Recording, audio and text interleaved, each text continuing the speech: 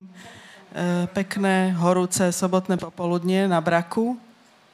Ďakujeme, že ste prišli. Um, sedíme tu na akcii, ktorou si pripomíname 25. výročie edície Aspektu. Uh, tak v rýchlosti začnem predstavovaním. Ja som Jana Juráňová. Uh, niekde po druhej dávke doma je Jana Cviková, ktorá je tu s nami prítomná duchom a možno aj očami. Po mojej pravici sedí Zuzka Maďarová, a naše dve mladé kolegyne Saška Ostertágová a naša najnovšia autorka Barbara Hrinová celkom na, na konci. Uh, niekedy si pripadám naozaj tak, že už len spomíname, ale dúfam, že to tak nebude stále. Um, no ale keďže edícia trvá 25 rokov a aspekt ešte plus 3 roky a celé tie naše aktivity ešte nejaké roky navyše, ktorými to začalo, tak už, už musíme spomínať aj keď ja som na tom dosť zle, lebo moja pamäť je zlá, tak, e, tak mám aj poznámky. E, edícia Aspektu vznikla teda v 96. roku. Nezvznikla tak úplne z ničoho. My sme mali e, vtedy tie, ktoré sme boli v Aspekte, sme mali veľký rešpekt pred vydávaním kníh a tak aj keď sme mali veľkú vôľu a chuť sa do toho pustiť hneď, najprv sme tri roky vydávali časopis a robili sme rôzne vzdelávacie aktivity a svoju činnosť sme si nazvali takým, dnes by to bol taký veľký banner citlivovanie spoločnosti na rodové témy.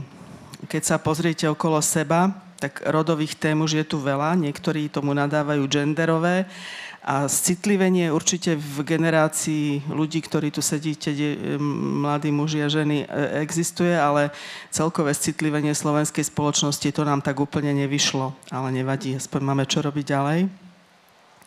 No, e, nám tie knižky začali z časopisu Aspekt vypadávať. Neviem, kto z vás e, je tu taký, že ešte ohmatával ten časopis v ruke.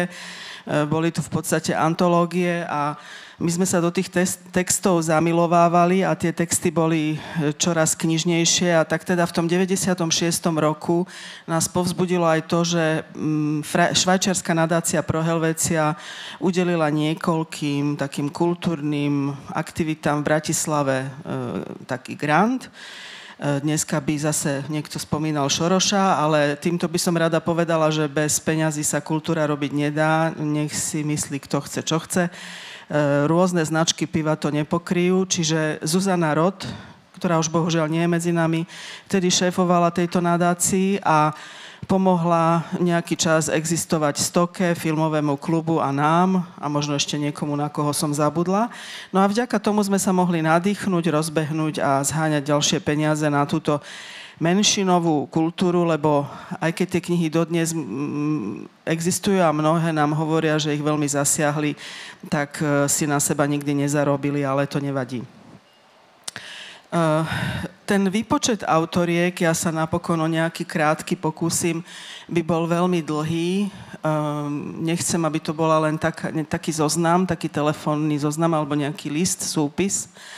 Ale tak začneme in media res s našou najmladšou autorkou a najnovšou Barbara Hrinová, ktorú tu ešte raz vítam a som rada, že je s nami. E, Barbara vydala u nás knižku Poviedok jednorožce, ktorá je nominovaná teraz na cenu Anna Soft Litera a dostala sa aj do toho výberu peťky ceny René.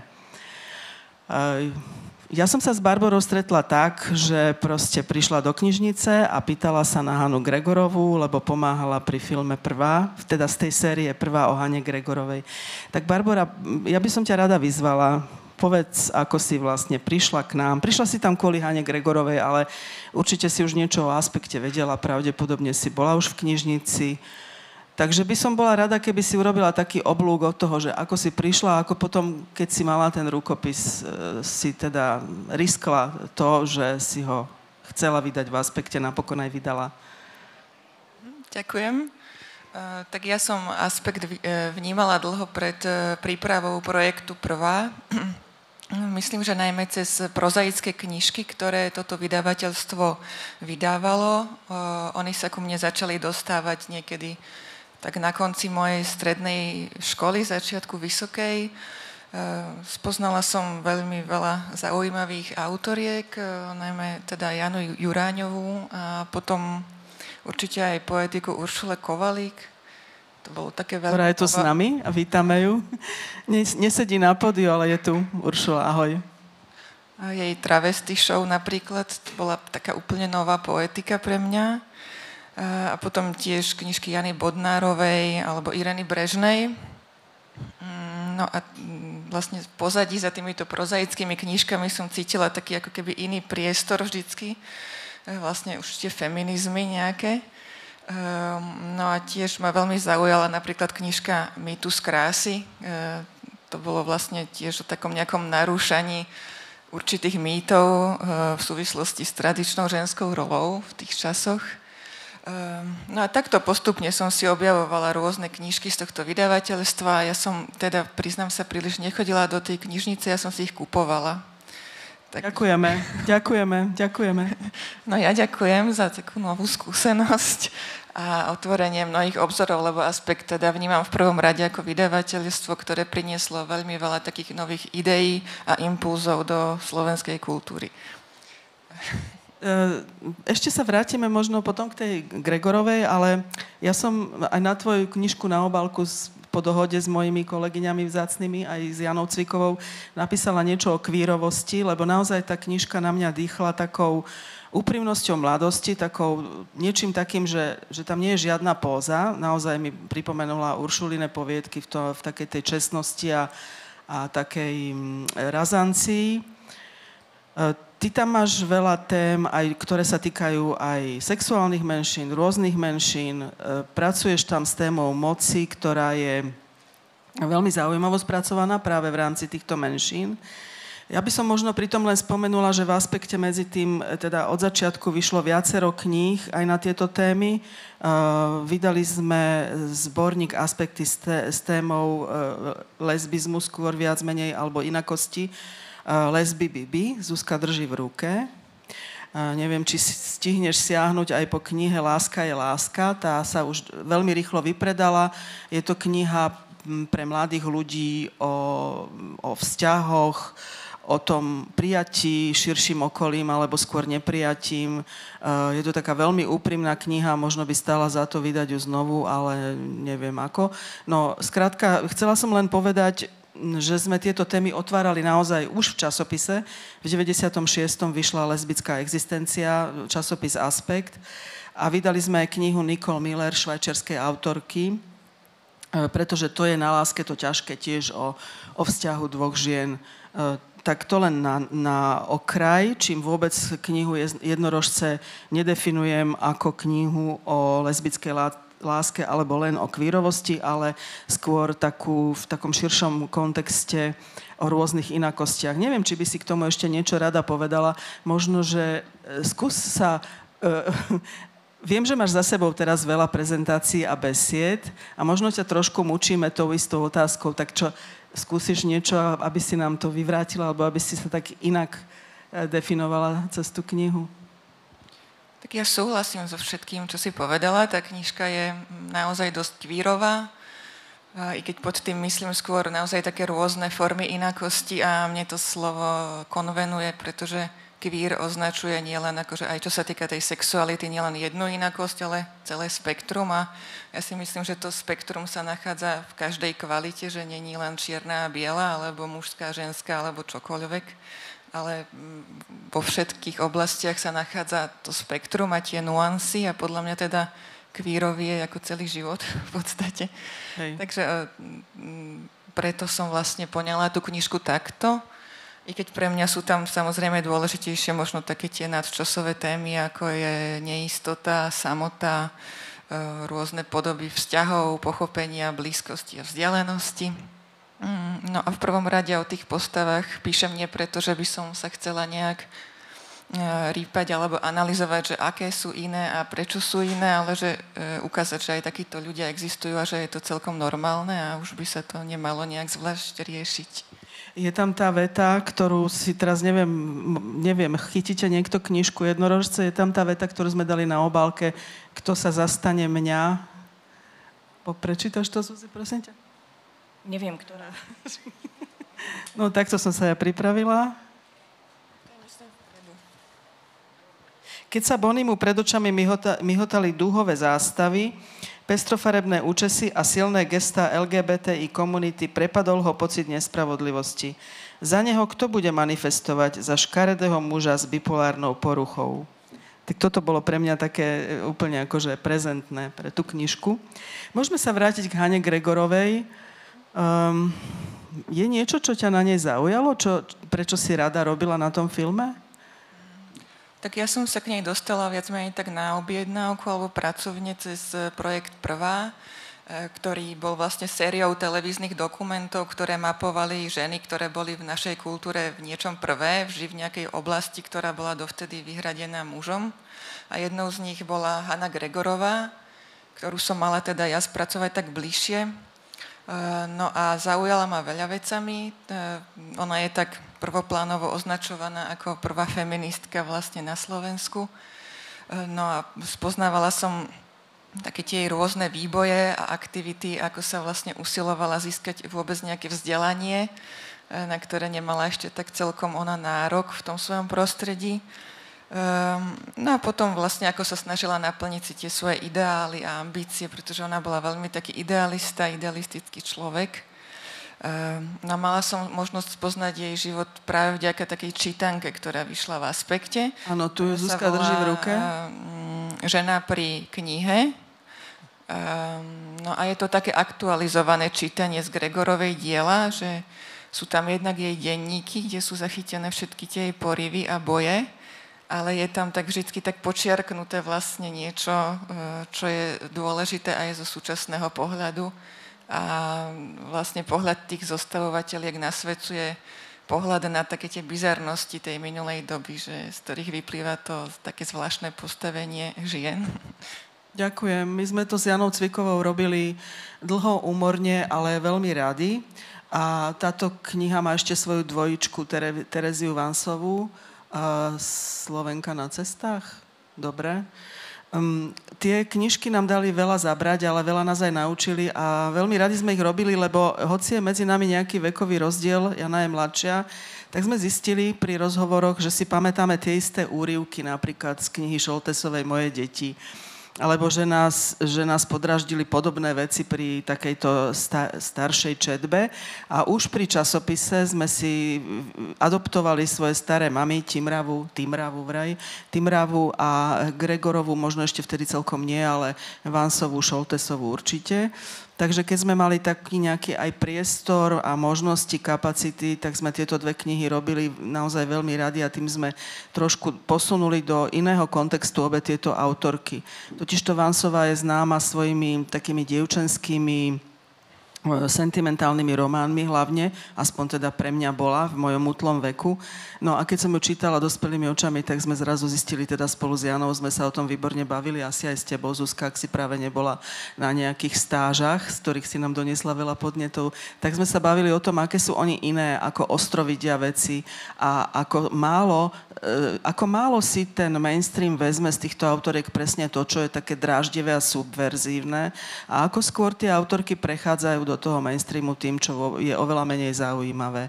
Je to veľmi nespravodlivé voči ženským autorkám a preto sme to práve aj vyťahli. Uh, tak druhá služobne najmladšia autorka je Saša Ostertágová, ktorá je aj súčasťou aspektu, edituje, píše, robí projekty, robí mnoho vecí.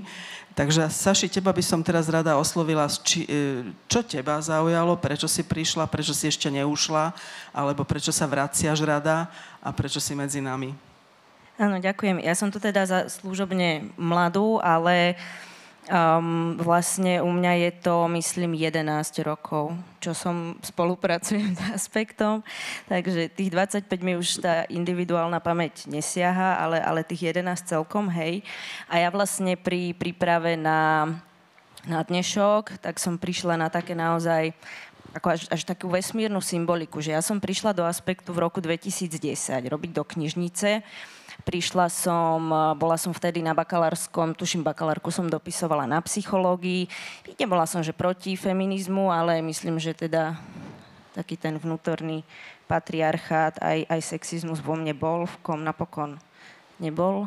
A, a práve v tom roku uh, vyšla knižka rodová perspektíva v ekonomii. No a dnes máme 2021 a vlastne uh, aj v rámci teda tých feministických uh, debát, uh, aktivizmu, ale aj toho teoretického myslenia sa hodne tematizuje um, kríza starostlivosti, aj v kontexte teraz pandémie, ktorá prebieha a vlastne poukazuje sa na to, že musíme nejakým spôsobom redefinovať to, čo považujeme za hodnotovo, ekonomicky nevyhnutné.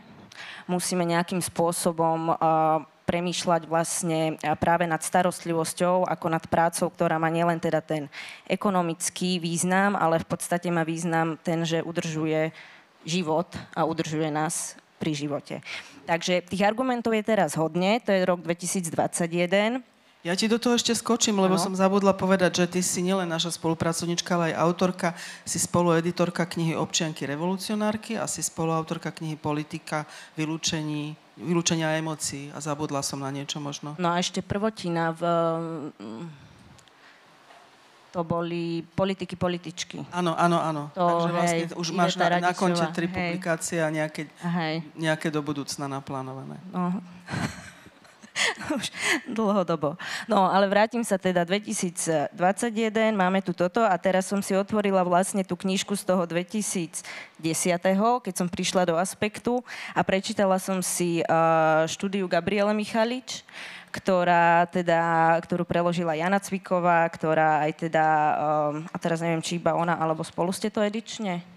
Nie, Jana Cviková editovala a vlastne bolo pre mňa hrozne zaujímavé, že tie argumenty, ktoré dnes už nejakým spôsobom máme osvojené, v podstate v tej štúdii sú. Uh, veľmi explicitne sa tam napríklad hovorí uh, práve o tom, že mali by sme sa zamyslieť nad tým, akým spôsobom v rámci súčasnej ekonomickej uh, situácie alebo teda ekonomického myslenia určujeme to, čo je hodnotné, čo hodnotné nie je. A že jednoducho, pokiaľ tam tú starostlivosť a práve nejakú reprodukciu nezaradíme, tak sa vlastne nepohneme ďalej a tam to bolo najmä teda z hľadiska tej rodovej rovnosti. Kritizujú sa tam vlastne, kritizuje sa tam rozširovanie prekerných fóriem práce. A práve to, akým spôsobom, práve to, akým spôsobom to dopada práve najmä na ženy a je tam prítomné aj to hľadisko komodifikácie práce starostlivosti uh, migrantiek, ako vlastne v tých bohatších krajinách preberajú vlastne zodpovednosť za tú starostlivosť opäť zase tie najchudobnejšie a najviac zraniteľné. No a čo ma úplne najviac pobavilo, bolo, že teda ozaj explicitne formulovaná požiadavka napríklad na znižovanie pracovného času. Takže pre mňa v rámci teda tej knižnej edície Aspektu boli asi najsilnejšie práve ten zborníkový rad Aspekty, lebo teda toto je 2010, ale vyšlo tam vlastne viacero knížiek ešte 2007, aká práca, taká pláca, Takisto sa tam vlastne už vtedy uh, pracuje s tým uh, pojmom reprodukčnej práce, ekonomika starostlivosti je tam nejakým spôsobom zachytená.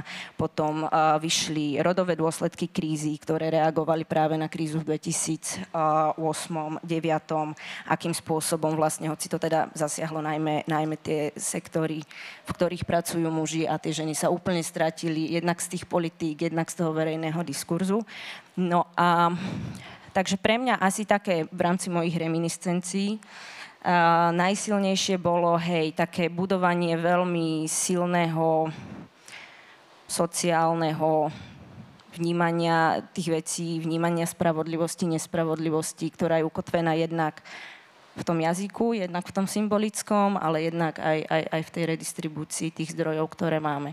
Takže toľko moje 11-ročné reminiscencie. Ďakujem. E, navnadila si ma vlastne na spomienku, že keď sme e, vydávali Aspekt, tak on obsahoval väčšinou prekladové veci a aj prvé knižky e, boli, prvá knižka bola prekladová, Merta Tikanen. E, my sme vždy dúfali alebo snívali o tom, že bude, budú raz autorky, ktoré budú písať feministické veci po slovensky, ako že sa nebudú prekladať. Takže ten sen sa nám splnil, aj keď medzi tým sme už možno také unavené, alebo nemáme toľko energie, aby sme sa z toho dokázali naozaj tešiť, ale, ale tento veľký sen sa nám splnil a jednou z tých autoriek je Zuzka Maďarová, ktorá je viacnásobná autorka aspektu. Uh, ani všetky tie knihy nevymenujem, nechám to na teba, ale tá naj, možno naj, najznámejšia a posledná ako odvrávať novembru, mala aj veľký úspech, naozaj reálne mala veľkú odozvu aj mediálnu, čo ma nesmierne potešilo.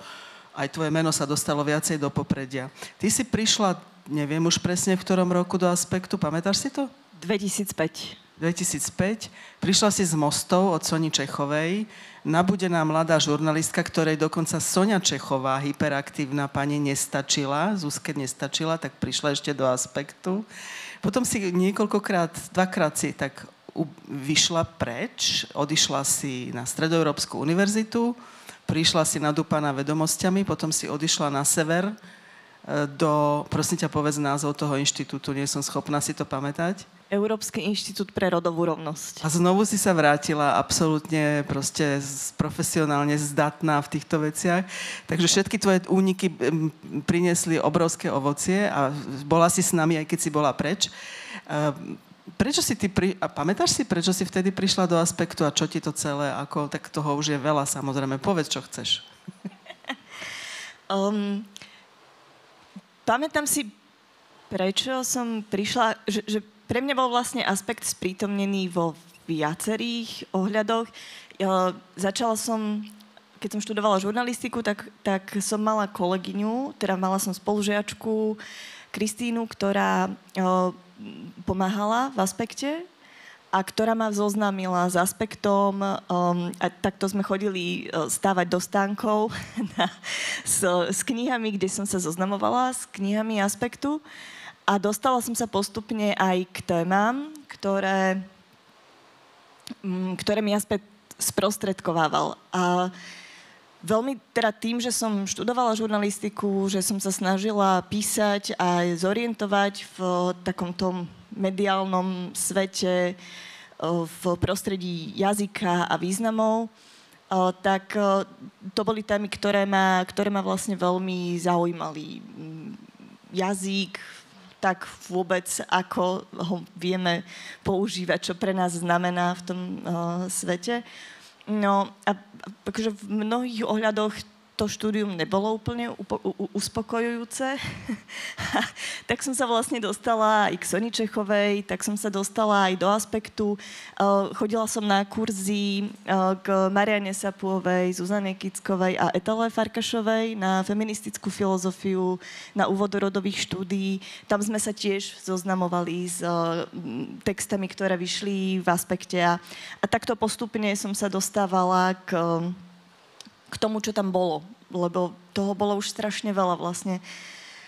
Tak ako je prítomnosť knižnej edície Aspekt a vždy bola teda ako v mnohom veľmi obohajcujúca, tak pre mňa bola vždy frustrujúca, lebo mi vždy vlastne ukazovala, čo všetko som ešte nečítala, čo všetko ešte, ešte neviem. A tak to bolo vždy aj v tej knižnici, keď som tam pracovala a sedela našej Meet na 38, raz do týždňa otvorená. Um, a tak teda aj tá knižná edícia, tie aspekty, ktoré um, vlastne sami o sebe prinášajú obrovské množstvo materiálu. No a ja som si tu nachystala, uh, to, sú moje, to sú moje poznámky. um, Mám lebo, podávať, ale... Z- zatiaľ nie, ďakujem.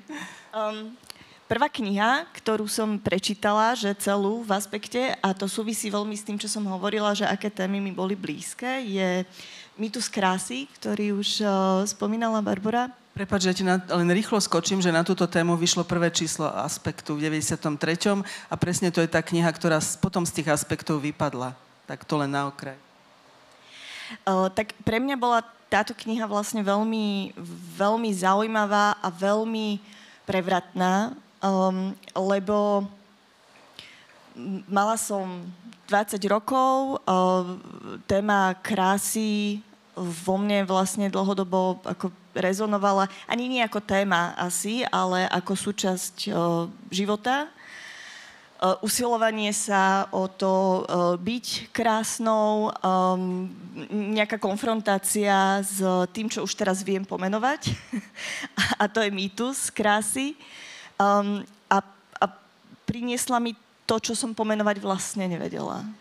Um, tak ako mnohé iné knihy. Um, takže, takže toto bola prvá a čítala som ju súbežne s knihou Žena nie je tovar, to je kniha, ktorá, ktorá vyšla v 2005. Už je zborník. To je zborník, áno.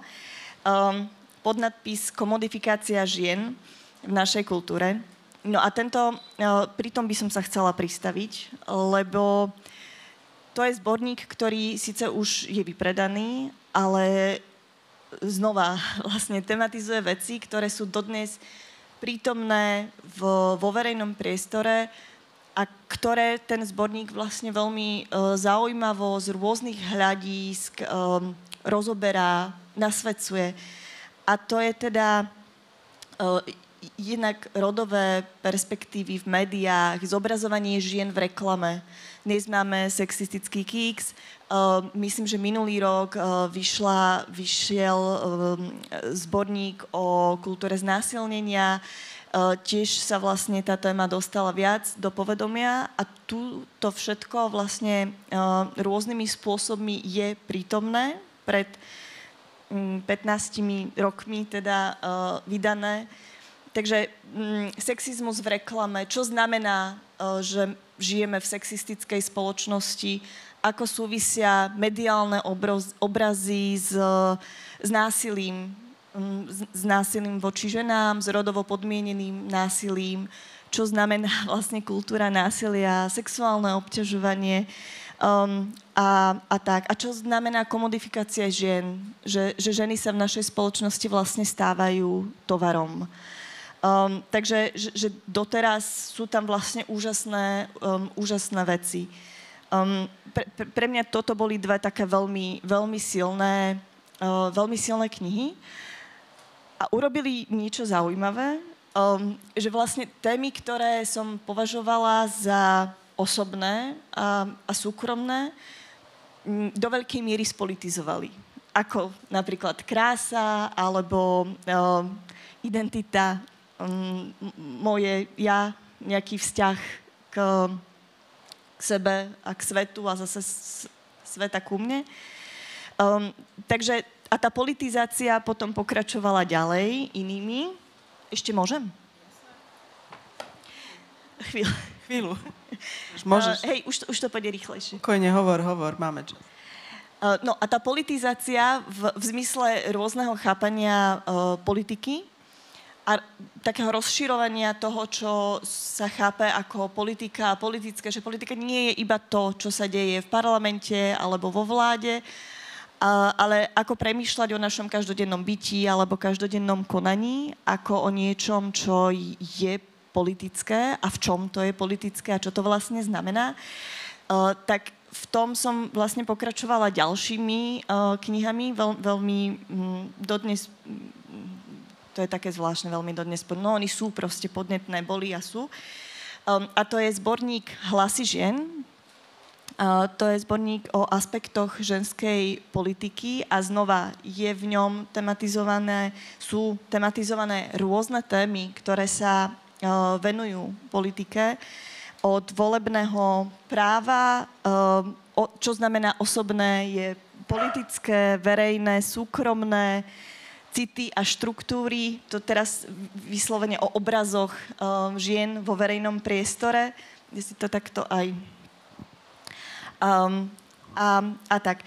A tu by som chcela vlastne zostať, že tých tém je tam uh, veľmi veľa a čím sú tieto všetky zborníky, aj žena nie je tovar, aj hlasy žien, aj lesby, ktoré si spomínala, uh, ale aj piata žena, alebo možnosť voľby, dnes vynimočne aktuálna téma zase. Um, čím sú špecifické a v porovnaní s, mnoho inými, s mnohými inými zborníkmi, ktoré vlastne vychádzajú inde, je to, že okrem toho, že nasvedcujú nejakú vybranú oblasť z rôznych hľadísk a ponúkajú rôzne pohľady, tak prinášajú aj rôzne formy písania. Uh, že, že sú tam odborné texty, prekladové, um, autorské, ale je tam tak odborný text ako, um, ako beletristické texty, ktoré s tou problematikou alebo s tou témou, ktorá sa tam rieši, uh, súvisia. A, a to je niečo, čo, čo pre mňa bolo vždy vlastne veľmi zaujímavé a veľmi, veľmi podnetné.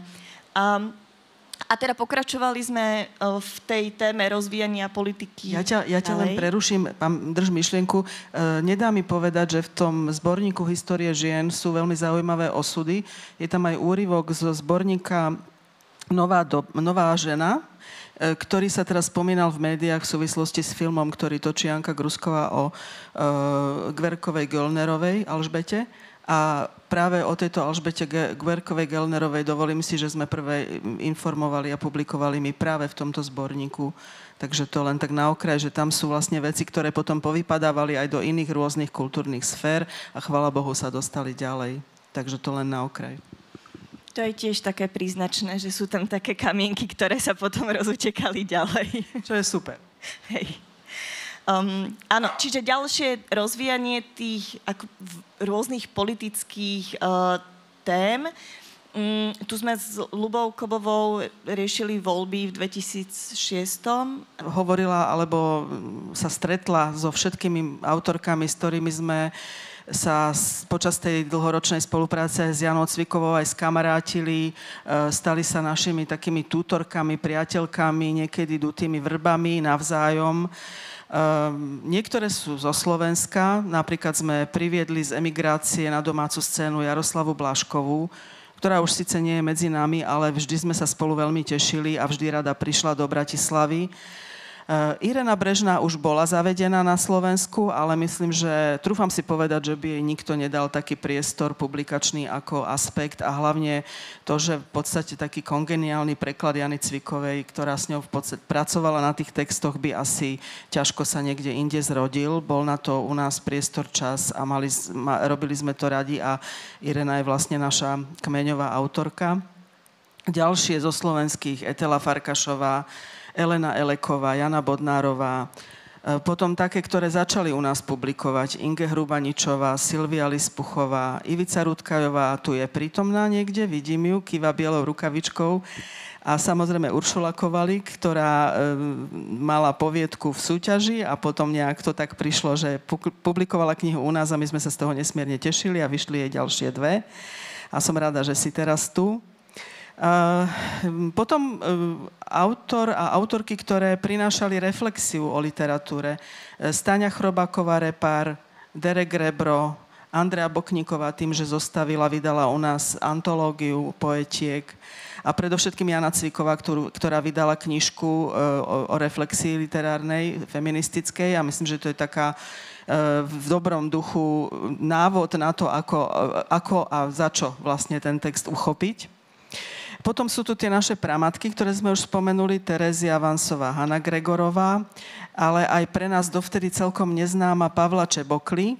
Tu som úplne náhodou vyhrabala v skartovanom slovníku slovenských spisovateľov.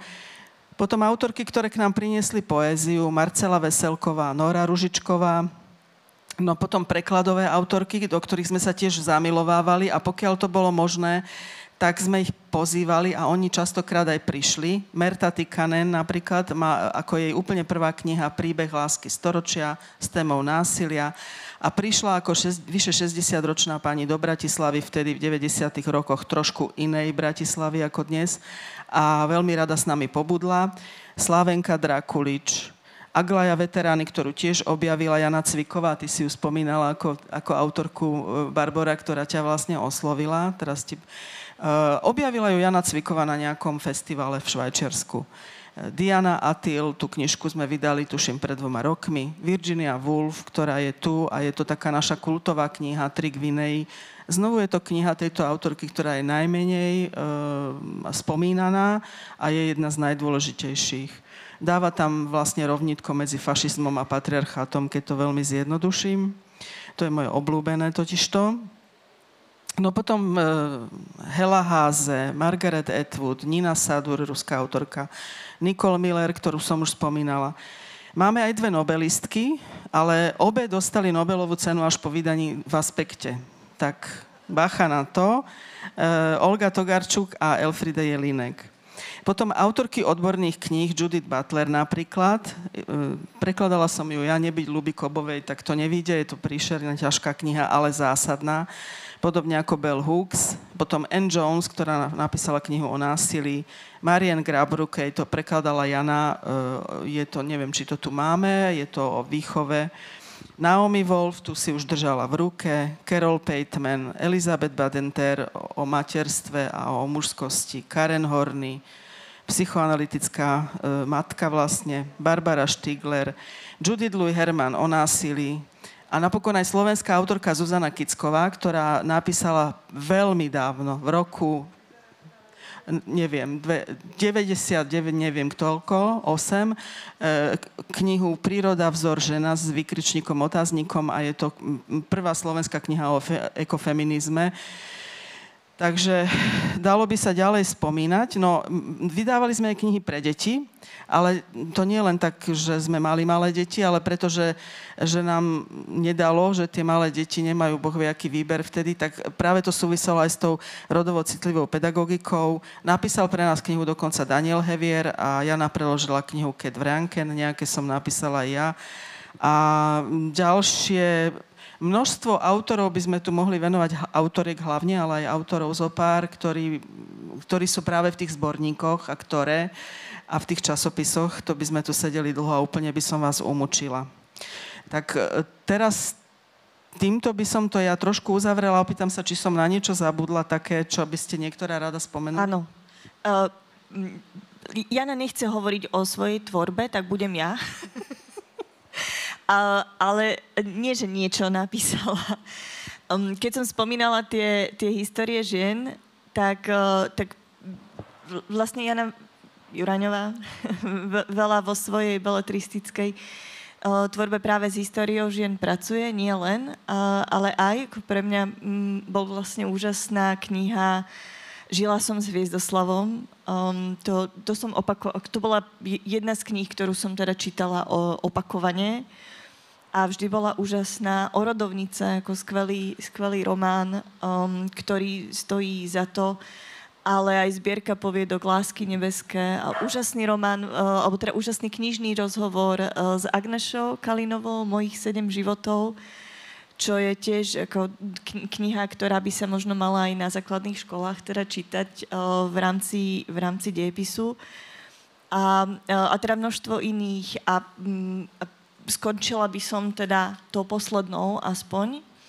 A to je kniha Na nič hodnica, kde, e, ktorá je tiež nominovaná na Anasoft Litera, aj bola vybraná do ceny René, čo je nejaká verzia Anasoft pre uh, gymnazistov, teda pre stredoškolačky a stredoškolákov.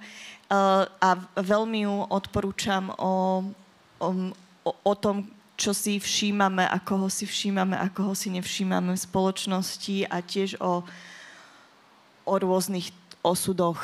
Um, a ťažko sa mi o nej hovorí, ale ty, ty nechceš, tak... Ja som teraz mala nejaké besedy, tak si to nájdete na webe. Mne sa už nechce hovoriť. Ale je to, je to úžasná, úžasná kniha, ktorá tiež má v sebe veľmi veľa Uh, veľmi veľa vrstiev a myslím, že o nej dúfam teda, že o nej budeme ešte veľa počuť. A Ďakujem. Ďakujem ti za prezentáciu mojej tvorby. Ja by som rada zakončila tak trošku nie spomienkovo, ale možno takou nádejou, ale neviem teda, či sme toho schopné, ale pýtam sa nás všetkých, čo s edíciou ďalej? Máme nejaké plány, nápady, tešenia sa? A to nemusí byť len, že ja teraz niečo chcem napísať, vydať. Aj, samozrejme, to, to sa potešíme. Ale aj, že čo by sme tam rady mali ešte v tej edícii, čo teraz možno nevládzeme, ale snáď sa k tomu raz dostaneme. Barborka, začnem tebou. Um, tak mňa práve počas tejto diskusie tak napadlo, že možno by sa zišlo pozrieť takým rodovým alebo feministickým pohľadom aj na oblasť uh, slovenského filmu. Lebo, lebo ja som práve ako z filmovej fakulty, tam učím na katedre scenáristiky, ale to nie je dôležité. Ale všimla som si tak napríklad na posledných štátniciach sme mali takú otázku, že najvýznamnejší scenáristi, teda bol to len mužský rod a bolo tam vymenovaných asi 10 mužov, A teda žiadne ženy, ale ja viem o tom, že scenáre aj filmové teda písali aj ženy, veď ako Alta Vášova, napríklad, ktorá je tiež teraz nominovaná na Anasov literu, e, Zuzana Gendl Tatárová a tak ďalej a že možno by sa oplatilo zdokumentovať aj osudy týchto scenáristiek, lebo vlastne sa pohybovali takmer vo výlučne mužskom prostredí a tiež tak nejak zapadli. To je určite dobrý nápad. Otázka je aj, e, nás vždy zaujíma nielen to, že tie ženy naozaj sa na ne častokrát zabúda, sú zneviditeľnené, ale že ako to aj tie ženy vnímajú, či reflektujú túto svoju pozíciu, alebo niekedy radšej si ju nechcú všimnúť, aby, aby neboli ešte viac kritizované, než boli zabúdané. E, bolo by to veľmi zaujímavé určite. Ty sama niečo chystáš? Um, tak ja pracujem na novej knižke a je to zatiaľ vo fáze rukopisu, tak e, uvidíme. Uvidíme, dobre. Saši? No, ja by som bola asi najradšej, keby, lebo tak tie zborníkový rád vlastne aspekty už e, tak, tak jeho pomenej a, a že vlastne ten antologický charakter už nemá, že, že, že by tam bolo či už prekladová literatúra alebo, alebo tie pôvodiny. Tak mne osobne by sa páčilo, keby vlastne, mm, hej, zase pribúdali vlastne takýto typ. Ja viem, že je toho veľa, je toho veľa na, na, na rôzne témy, aj z rodového, z feministického hľadiska.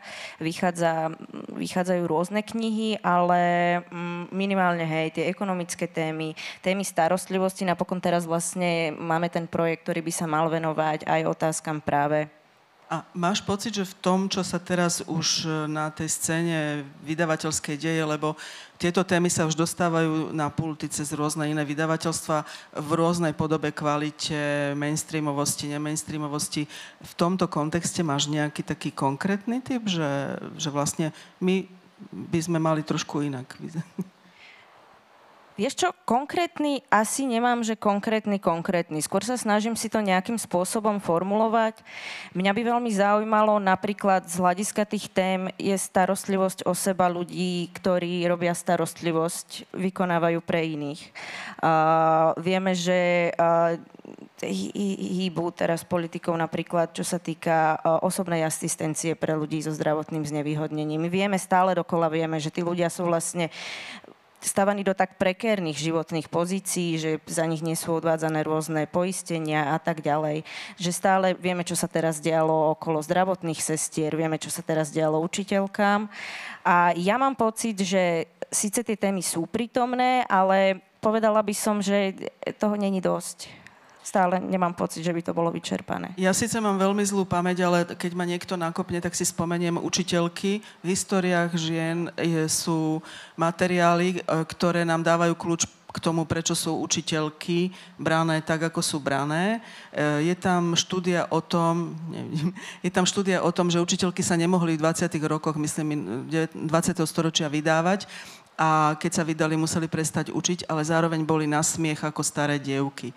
Tak to je tiež kľúč k tomu, že ako spoločnosť vie zatočiť s niektorými typmi ľudí bez toho, aby si, k tomu, aby si mohli pomôcť.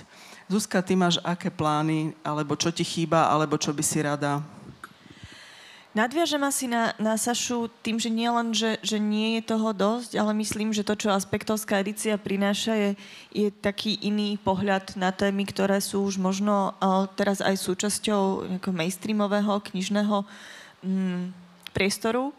A, a to je niečo, čo, čo by bolo veľmi dobré, keby si tá knižná uh, edícia uh, uchovala lebo myslím, že to prehlbovanie je práve tým, že um, čoraz viac je v našom priestore prítomný popfeminizmus a to mainstream, tá mainstreamovosť uh, u, uvažovania alebo niektorých tém uh, vlastne spôsobuje aj, aj, splo, aj ich splošťovanie a zjednodušovanie a myslím, že to je niečo, čo, čo v knižnej edícii aspekt uh, bolo skvelé, že, že to zjednodušovanie tam vlastne nebolo, respektíve, že sa prehlbovali, nie iba sa tematizovali nové veci, ale dochádzalo aj k takému prehlbovaniu uvažovania o nejakých témach.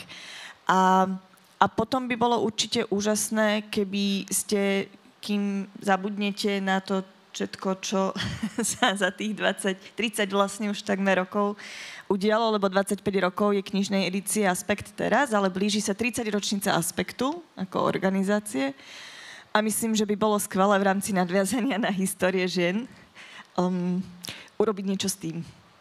Dobre, uvidíme, či si budeme niečo pamätať a či tu budeme. E, ja za seba prajem edícii Aspektu a nám všetkým veľa subverzie a veľa drzostí, aby sme prežili v tomto svete, ktorý je čoraz krutejší a čoraz, čoraz nepríjemnejší. Všetkým vám ďakujem, že ste prišli, ďakujem za priazeň a čítajte, prichádzajte, kupujte, požičiavajte si, budeme sa veľmi tešiť. Ďakujem.